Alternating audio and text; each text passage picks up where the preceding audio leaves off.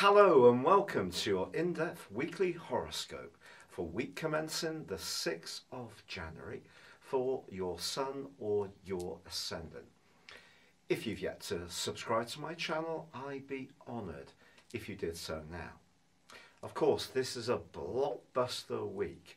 We have Saturn and Pluto coming together from Monday and they're going to be in the same position, 22 degrees Capricorn, through to the following Wednesday. They exactly come to conjunction on Sunday the 12th. Now, this has received a lot of publicity and therefore has been arousing a lot of interest. If we think that Saturn is the ruling planet of Capricorn and therefore it's uh, in its dignity in this, uh, in this sign, and also Pluto is the planet of change, but also of what's hidden, and deep and dark. But Capricorn energy itself is quite traditional. We may see some institutions, some notable public figures, uh, some situations where power and orthodoxy have been used to uh, maintain a degree of control. These could be challenged. I think what's much more likely to happen, and with this week's lunar eclipse, annular lunar eclipse on Friday, is that we're just getting a push, a nod uh, towards the more emotional energies of Cancer, trying to balance out the more material energies of Capricorn. This energy has been going on for some while, since last year's solar eclipse in July. So I think, although this week is going to be critically important, I think it's going to be much more nuanced than people might think. I mean, one of the things that's happening this week is the fact that Mars in uh, the go-getting sign of Sagittarius is in a quincunx with Uranus. Now this is fascinating. Uranus is in the fixed sign of Taurus and Mars is in the more mutable, free-flowing sign of Sagittarius. So it's possible, for example, when it comes to our financial resources, that we may actually want to kick back about being more cautious, which is Capricorn energy is encouraging us to be.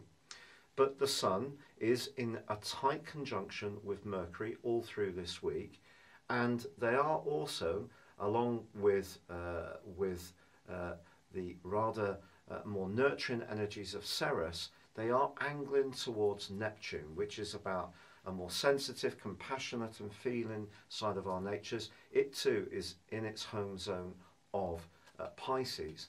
So I feel that although there can be something around the basic uh, plates and at the basis of our existence that does start to shift, I think it really is going to be once Jupiter and Saturn, Saturn initially and then Jupiter uh, latterly this coming year, move into Aquarius and Pluto arrives in Aquarius in 2023, that we're really going to see the new world order emerge. But there's no doubt about it that there could be some kind of structural correction going on when it comes to resources, financial markets and all that kind of stuff. It is entirely possible. However, I think in a more personal context, Venus actually forges quite a potent link, a semi-sextile with Pluto and Saturn, so this could be a time with Venus in the more enlightened uh, sign of Aquarius, which is very much about people and relating, that we do get some signals about how we need to work collectively to protect our resources. And I think this Capricorn in energy is a lot to do with what's going on with environmental issues and about encouraging us all to think less about consumerism and more about conservation. That's how I see it. Another astrologer might see it entirely differently. But I did note, for example, that the governor of the Bank of England said that uh, pensions could be affected greatly by uh, the dying out of fossil fuels because so much money has been invested in those areas. So new technologies need to come along and Uranus is going to be priming those through a series of connections with uh, some lunations all through this year. So Uranus is going to be just as powerful as Jupiter, Saturn and Pluto. But certainly this is a fascinating point, but the two, Saturn and Pluto, have been inching ever closer together for some months. They just reached that high point. And that Cancerian energy is just saying to us, don't forget our humanity by trying to main some, maintain things that are outdated or just traditional or have just always been that way, to keep being open minded about the direction of travel for person kind. Your specific forecast, Gemini, is really quite fascinating because Mars, the planet of passion, is in your sector of related. But Uranus, the planet of restlessness, is tucked away in a very psychological area. You could find yourself being almost a bit blunt with someone this week in a way which could be a little bit out of character for you. You're someone with a real uh, skill at talking to lots of different types of people, but the planets are calling out to you to embrace a much more soulful embrace of their influence. It's about getting in touch with what really moves you at a much deeper level, a much more profound level than perhaps you've ever experienced.